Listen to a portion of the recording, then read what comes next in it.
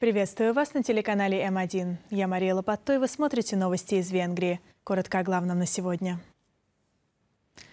В Будапеште начался 52-й Международный Евхаристический конгресс. На нем выступят спикеры из 40 стран с пяти континентов.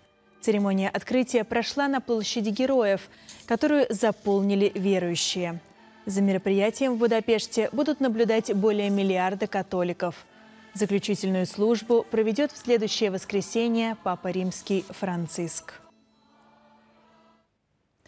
Четвертая волна будет эпидемией непривитых, заявил главный семейный врач в эфире М1. По словам Сабаль Чебекаши, эпидемия набирает обороты, что подтверждает анализ точных вод и число новых заражений. Он добавил, что большинство заболевших не вакцинированы. Специалист советует всем как можно скорее сделать прививку. Ежегодно на национальном заводе в Дебрецене будет производиться 20 миллионов доз вакцины. Производство начнется в конце следующего года.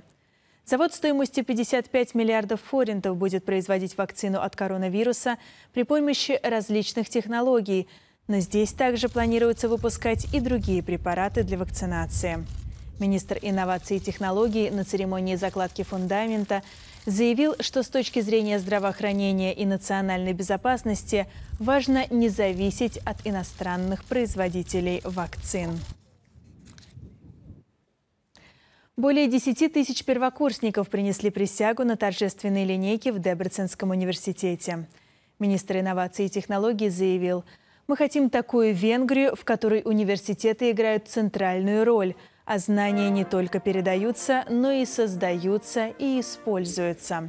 Ласло Полкович подчеркнул, что в следующие годы университеты получат беспрецедентную финансовую поддержку. Перед Евросоюзом стоит ряд вызовов, в том числе долговой кризис, проблемы конкурентоспособности и тот факт, что ЕС не может добиться своих целей на мировой сцене, заявил госсекретарь Офиса премьер-министра в эфире радио Кошут.